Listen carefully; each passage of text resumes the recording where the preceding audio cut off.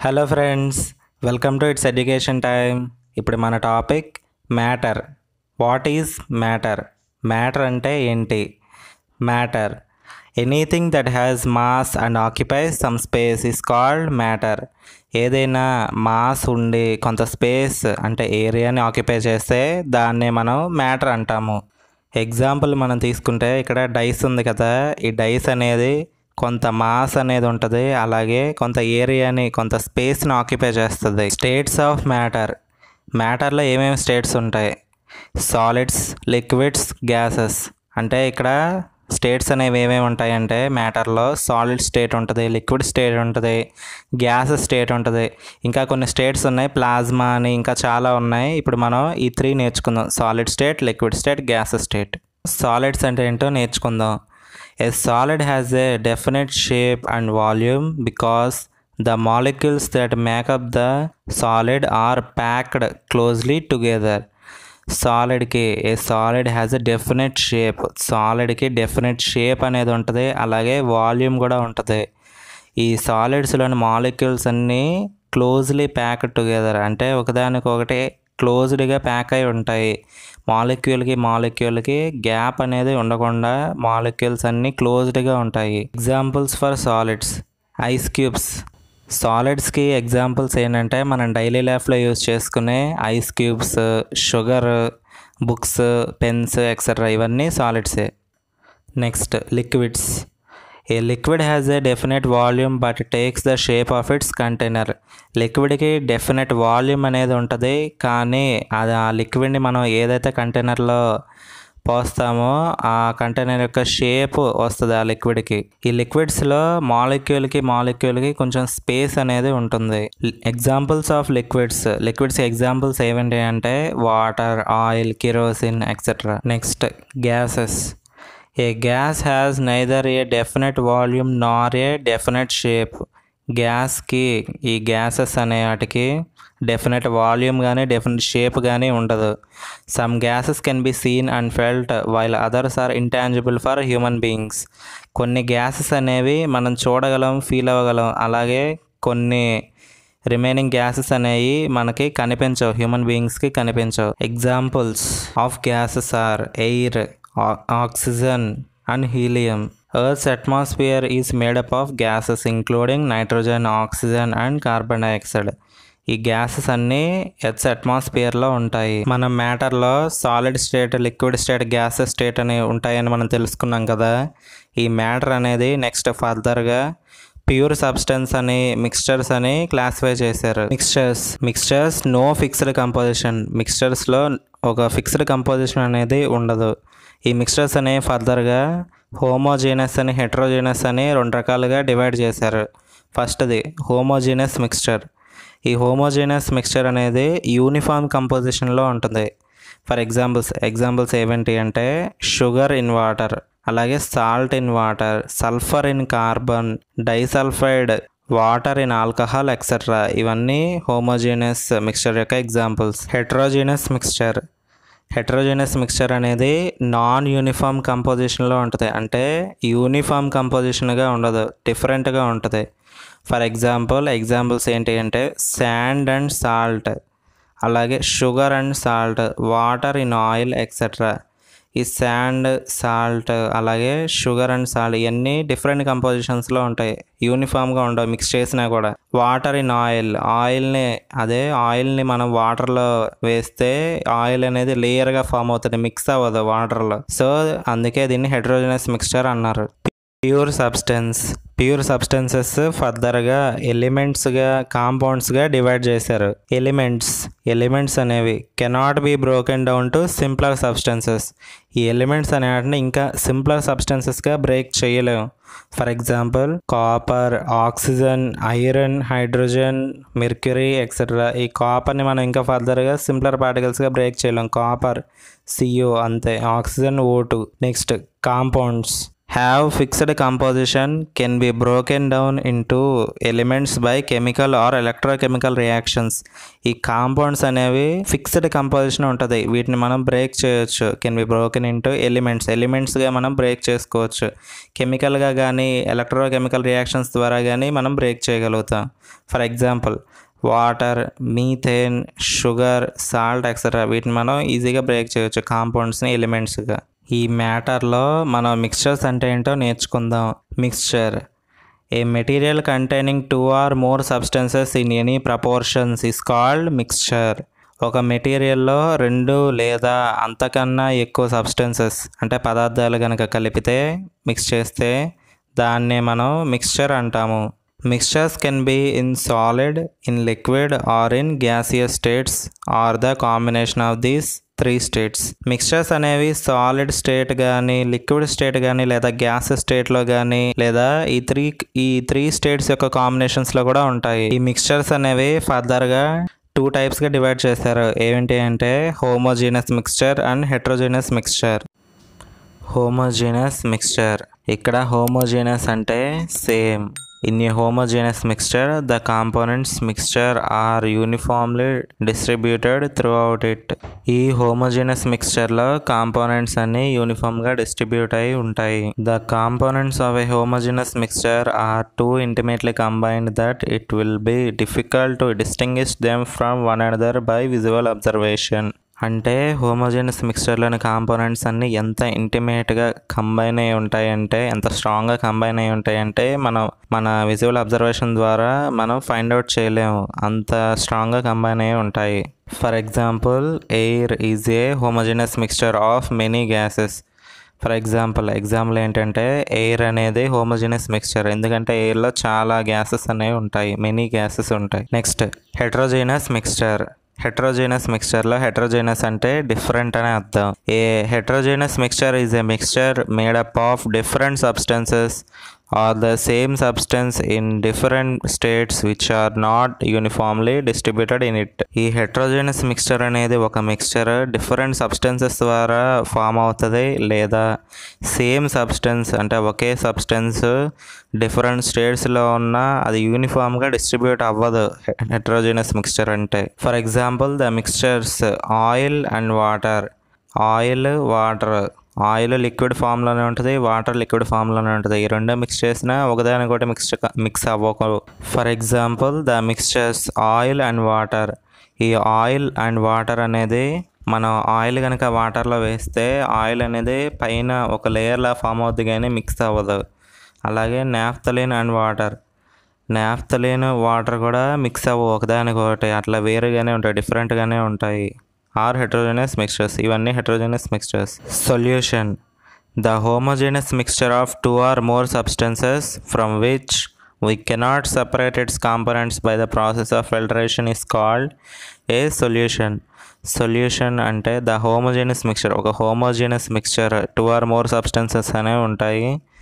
ఆ homogeneous mixture అనేది మనం సపరేట్ చేయలేం. అందులో ఉన్న కాంపోనెంట్స్ని ఫిల్టరేషన్ ద్వారా కూడా మనం సపరేట్ చేయలేకపోతే దాన్నే మనం సొల్యూషన్ అంటాము. ఈ సొల్యూషన్ హ్యాస్ టూ కాంపోనెంట్స్ సొల్యూషన్లో టూ కాంపోనెంట్స్ అనేవి ఉంటాయి. అవి ఏంటి అంటే solvent solute solute the component of solution that is dissolved in the solvent usually the component present in lesser quantity is called solute సాల్వెంట్లో మనం ఏ కాంపోనెంట్ అయితే మిక్స్ చేస్తామో దాన్నే సొల్యూట్ అంటాము. ఇది తక్కువ క్వాంటిటీలో ఉంటుంది. Solvent the component of the solution the dissolve the other component in it usually the component present in larger quantity is called solvent మీరు ఒక స్మాల్ క్వాంటిటీ ఆఫ్ కాంపోనెంట్ని లార్జ్ క్వాంటిటీ గల కాంపోనెంట్లో కనుక మిక్స్ చేస్తే ఆ లార్జ్ క్వాంటిటీ కాంపోనెంట్నే మనం సాల్వెంట్ అని అంటాము. Solubility the amount of solute present in a saturated solution at a certain temperature is called its solubility at the temperature ఒక సర్టెన్ టెంపరేచర్ దగ్గర సాల్వెంట్లో ఎంత అయితే మనం సొల్యూట్ని అంటే మ్యాక్సిమం ఎంత సొల్యూట్ని అయితే మనం డిజాల్వ్ చేయగలుగుతామో దాన్నే మనం సాల్యుబిలిటీ అంటాము. సాచురేటెడ్ సొల్యూషన్ ఈ solution containing the maximum amount of solute that can be dissolved in a particular solvent at a particular temperature ఒక పర్టికులర్ టెంపరేచర్ దగ్గర ఒక పర్టికులర్ సాల్వెంట్లో ఎంత అయితే సొల్యూట్ని మనం డిజాల్వ్ చేయగలుగుతామో అంటే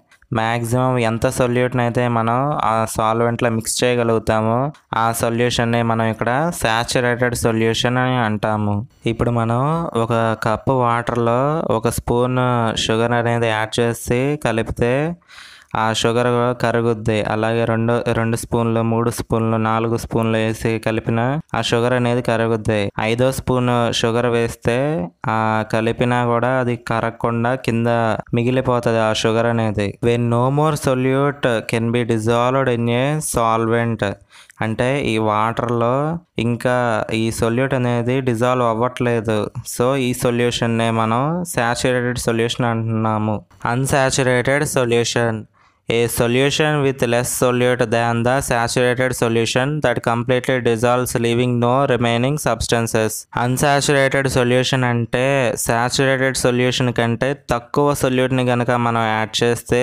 ఆ సొల్యూట్ అనేది ఆ సాల్వెంట్లో కంప్లీట్గా డిజాల్వ్ అయిపోతుంది కింద పార్టికల్స్ అనేవి మిగలకుండా కంప్లీట్గా డిజాల్వ్ అయిపోతే దాన్నే మనం అన్సాచురేటెడ్ సొల్యూషన్ అంటాము. ఎగ్జాంపుల్ ఒక కప్పు వాటర్లో టూ స్పూన్స్ షుగర్ కనుక యాడ్ చేస్తే అది కంప్లీట్గా డిజాల్వ్ అయిపోతుంది కదా కింద ఎలాంటి పార్టికల్స్ అనేవి సెటిల్ కాకుండా. సో ఈ సొల్యూషన్ మనం అన్సాచురేటెడ్ సొల్యూషన్ అని అంటాము. Super saturated solution. A solution in which more solute is dissolved than in a saturated solution. Super saturated solution అంటే మోర్ సొల్యూట్ ఎక్కువ శాచురేటెడ్ సొల్యూషన్ల కంటే ఎక్కువ సొల్యూట్ని మనం ఇందులో యాడ్ చేస్తాము సొల్యూషన్లో శాచురేటెడ్ సొల్యూషన్లో సెటిల్ అయిన పార్టికల్స్ ఉన్నాయి కదా. ఆ పార్టికల్స్ని సొల్యూషన్లో డిజాల్వ్ చేయాలంటే ఆ సొల్యూషన్ని హీట్ చేస్తే టెంపరేచర్ ఇంక్రీజ్ అయ్యి ఆ పార్టికల్స్ అన్నీ డిజాల్వ్ అవుతాయి.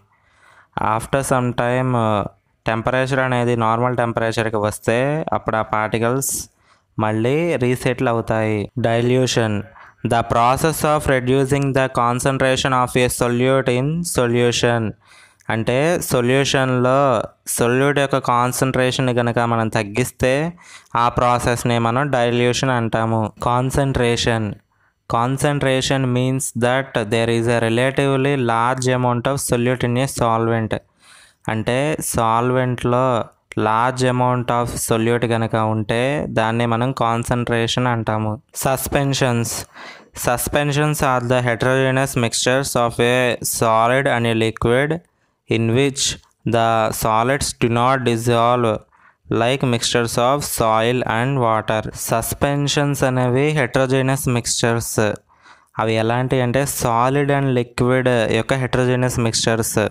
వీటిలో సాలిడ్స్ అనేవి ఆ లిక్విడ్లో మిక్స్ అవ్వవు. ఫర్ ఎగ్జాంపుల్ ఎలా అంటే సాయిల్ అండ్ వాటర్ ఉంది. ఈ సాయిల్ అనేది వాటర్లో కంప్లీట్గా మిక్స్ అయిపోదు కదా. అది మనం కదపకుండా ఉంచితే ఓ పక్కన ఆ సాయిల్ పార్టికల్స్ అనేవి కింద సెటిల్ అవ్వటం అలా అవుతుంది. కంప్లీట్గా మిక్స్ అయిపోవు. సో వీటిని మనం సస్పెన్షన్స్ అంటాం emulsions. These are special kinds of suspensions called emulsions. These mixtures consist of two liquids that do not mix and settle, and settle into layers when the left undisturbed emulsions అనేవి సస్పెన్షన్స్లోనే ఒక special kind అలాగే ఈ mixtures అనేవి రెండు liquids ఉన్నాయి కదా ఆ రెండు లిక్విడ్స్ ఒకదానికొకటి మిక్స్ అవ్వకుండా లేయర్స్ లాగా సెటిల్ అవుతూ ఉంటాయి.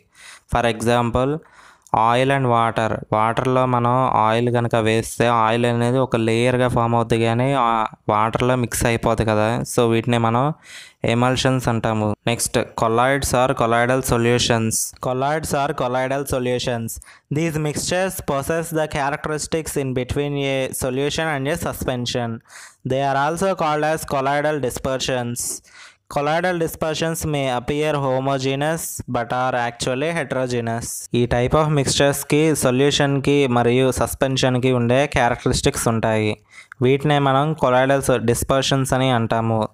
ఈ కొలాయిడల్ డిస్పర్షన్స్ అనేవి చూడడానికి హోమోజీనస్గా అనిపిస్తాయి కానీ యాక్చువల్గా అవి heterogeneous examples for colloidal solutions are milk butter cheese creams gels boot polish and clouds in the sky etcetera colloidal solutions are heterogeneous in nature and always consist of at least two phases first one disperse phase second one dispersion medium ఈ colloidal solutions అనేవి ఎప్పుడూ హెట్రోజీనియస్గానే ఉంటాయి.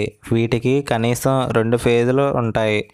అవేంటి అంటే disperse phase dispersion medium disperse phase disperse phase is the substance that present in small proportion and consists of particles of colloidal size one to hundred mm disperse phase అంటే దీనిలో colloidal particles అనేవి one to hundred MM సైజ్లో ఉంటాయి. Phase అనేది తక్కువ proportion గల substances dispersion medium dispersion medium is the medium in which the colloidal particles are dispersed.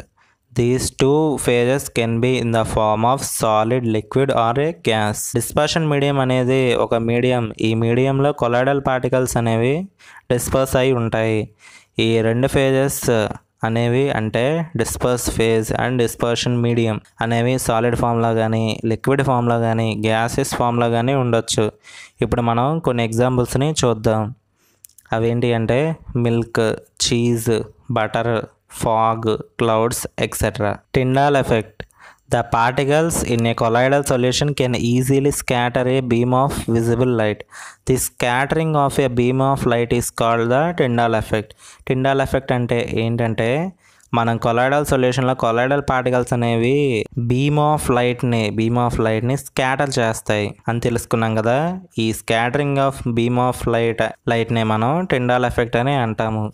Is ice cream a colloid? Ice cream అనేది colloid అవునా కాదా?